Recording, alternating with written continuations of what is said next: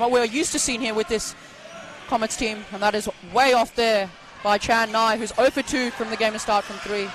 Don't One think Dean there. tried to call back on that one. Obi Kyei with the Comets' first field goal.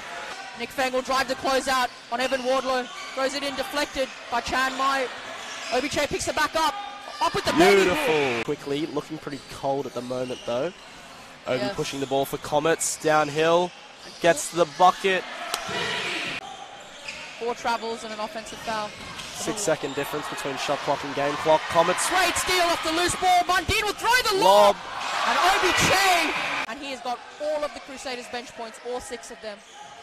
And, Great post moves by Obi. Fades away. and he gives it, and he is hyping up himself. Great touch on the rim there.